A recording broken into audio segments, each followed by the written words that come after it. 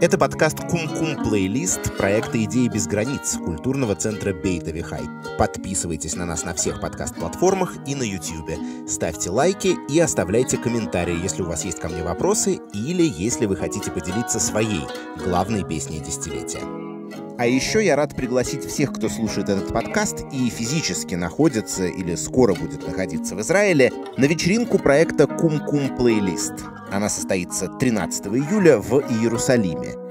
Я там буду рассказывать о своем опыте знакомства с израильской музыкой живьем, а мой коллега Фика Магарик, который, между прочим, монтирует все выпуски нашего подкаста, обеспечит, собственно, музыкальное сопровождение. Словом, буду рад всех повидать. Иерусалим, Вихай, четверг, 13 июля, 19.00. Все подробности, билеты и не только по ссылке в описании подкаста.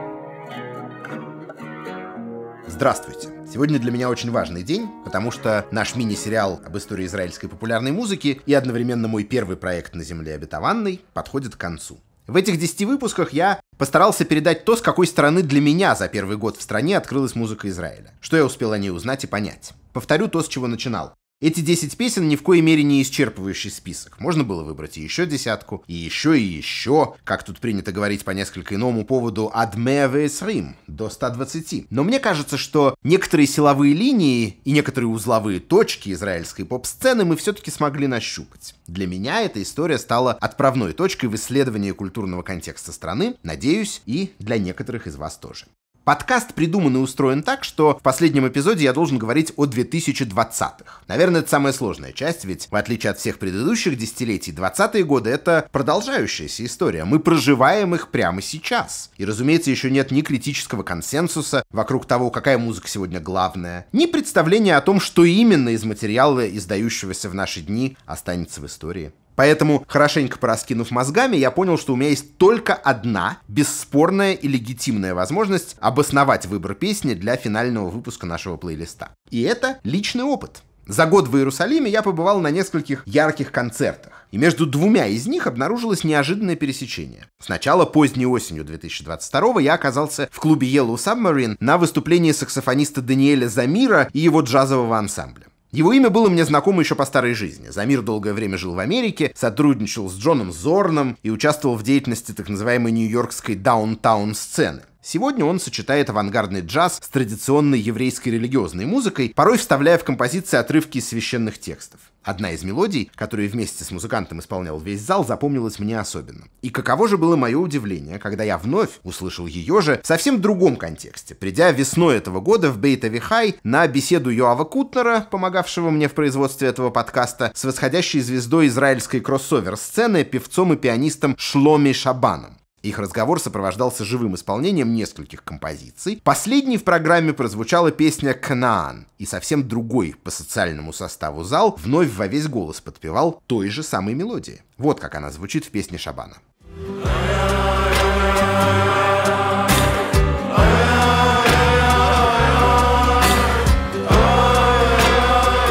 Вскоре выяснилось следующее. Эта музыкальная тема известна как «Цам ханавши», «Жаждет тебя душа моя» и приписывается Шнеуру Залману, раввину второй половины 18 и начала 19 века, основавшему влиятельное религиозное движение Хабад. Ее литературный фундамент — 33 глава из Тегилим или Псалмов Давида. Впрочем, по сути, это не гун, специфический жанр хасидского распева, в целом не требующий слов. И когда Даниэль Замир, Шломи Шабан и зрители в зале просто ведут мелодию «ла-ла-ла-ла-ла», это звучит абсолютно аутентично. К слову, именно Замир подсказал Шабану этот музыкальный источник и гармонизировал его. Поэтому между двумя разноплановыми артистами, которых я с разницей в несколько месяцев видел живьем в Иерусалиме, в самом деле случился результативный творческий контакт. Шабан же, в свою очередь, написал на основе Нигуна новую композицию и исполнил ее вместе с еще двумя яркими личностями на текущей музыкальной карте Израиля. Это, с одной стороны, рэпер Равид Плотник, он же Нечи Неч, видный представитель нового израильского социально активного хип-хопа, большой почитатель Кендрика Ламара. А с другой — ортодоксальный певец и актер Шули Ранд, которого вы можете знать как сценариста и исполнителя главной роли в популярном фильме «Ушпизин» 2004 года, первом созданном в копродукции религиозной еврейской общины и светской израильской киноиндустрии. Вот как звучит фрагмент основной текстовой части композиции «Кенаан». שלושה עשר גברים הולכים בחושך בחמסין, בשיירה, בלי מטרה ברורה, כמעט בלי נשק ובלי מים. כלום לא קורה וכעבור זמן מה קולו של יוד שובר את הדממה. מ' מתנהג כאילו לא שמע ורק מאט כמעה לבינתיים שלושים ימים ושלושים לילות מטרטרים אותנו סתם אומר ובקולו שנים של עבודות קטנות מטעם ולמען. זו דרך ארוכה זאת דרך ארוכה, זאת דרך ארוכה לכנען.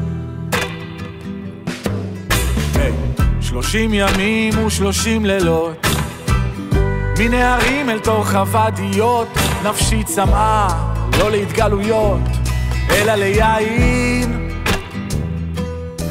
От чего в песне понадобилось целых три голоса? Циники скажут, чтобы привлечь побольше слушателей, включая ортодоксов и фанатов хип-хопа, и заработать больше денег в стриминговых сервисах. Но есть и соображения творческого характера. Дело в том, что тут три главных героя. Мы становимся свидетелями их беседы и даже, можно сказать, спора.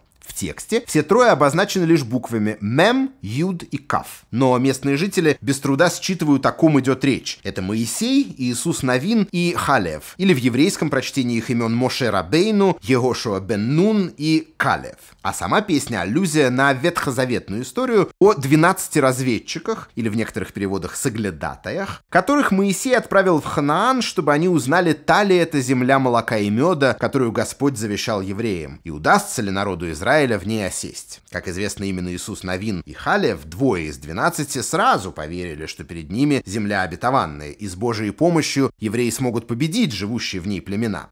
Остальные испугались якобы обитающих в Ханаане исполинов и даже задумались, не вернуться ли им в египетское рабство. За это Господь приговорил сомневающихся к продолжению странствий по пустыне. В песне Шломи Шабана, Равида Плотника и Шулеранда нетерпеливые голоса истинно верующих разведчиков «Вот Ханаан, идемте же и возьмем его!» слышны очень хорошо. Впрочем, последнее слово остается за Моше Рабейну, который устами Шабана говорит, что даже если ему не удастся войти в Ханаан, это не страшно. Истинный Ханаан у каждого в сердце. Почему мне кажется, что эта композиция по-настоящему существенна для сегодняшней израильской поп-музыки? По ряду причин. Во-первых, она представляет собой размышления на большие темы. О стране, о народе, об истории, о том долгом пути, зот дерех арука, который нужно пройти, прежде чем попасть в землю обетованную и в прямом, и в метафорическом смысле. И второе. Это песня на библейский сюжет, а среди ее исполнителей есть ортодоксальный артист. Мы еще не касались этой проблематики, а между тем она чрезвычайно важна для израильской популярной музыки 21 века. В иврите есть понятие «лахзор бетшува», дословно «вернуться к покаянию», а по факту из светского мира перейти в религиозный, заново начать соблюдать ортодоксальные традиции. Те, кто пережил этот процесс, называются «баалей чува». Израильская популярная песня со времен Ширей Эрет Исраэль была декларативно-светской. Она оставалась такой и в эпоху рок-музыки. Религиозность ярче проявлялась у мизрахи артистов. Не случайно язык песни «Хаперах Бегани» Зоара Аргова, росшего в религиозной семье, по меткому замечанию журналистов больше напоминал песнь песни царя Соломона, чем бытовую повседневную речь. Но в целом вопросы веры оставались на далекой периферии поп-музыки. Поэтому, когда популярный киноактер и лучший друг Арика Эйнштейна Ури Зоар, представитель блестящей светской ашкеназской культурной элиты, внезапно вернулся к покаянию еще в конце 70-х. Это стало шоком для его друзей. Но вскоре выяснилось, что он такой не один. Более того, строго соблюдающими стали две родных дочери Айнштейна, вышедшие замуж за сыновей Зоара. В 21 веке к религии обратились многие поп- и рок-музыканты предшествующих поколений. Эхуд Мейер и Эвиатар Банай, Ариэль Зильбер, Рути Навон, Этти Анкри. Хорошо знакомая нам группа Типекс тоже теперь не появляется на сцене в шаббат. Ортодоксом стал барабанщик Тамир Ямини. Среди героев этого эпизода нашего подкаста сразу двое Баалей Чува, Даниэль Замир и Шули Ранд. О чем это говорит? точно об одном. В и без того плюралистической панораме израильской популярной музыки в последние лет 20 определенно появилась еще одна новая краска.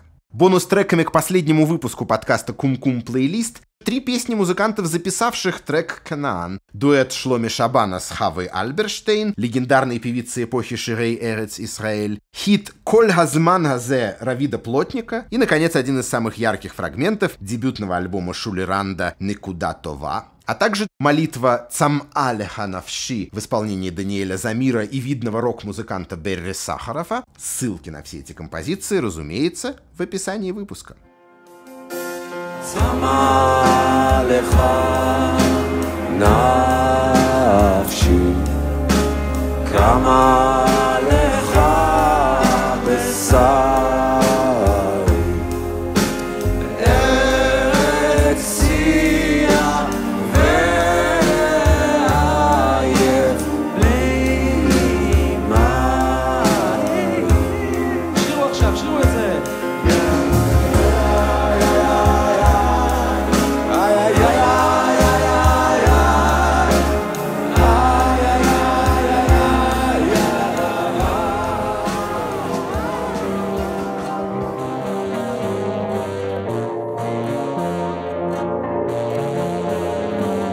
Это был подкаст о 10 песнях, которые сформировали Израиль.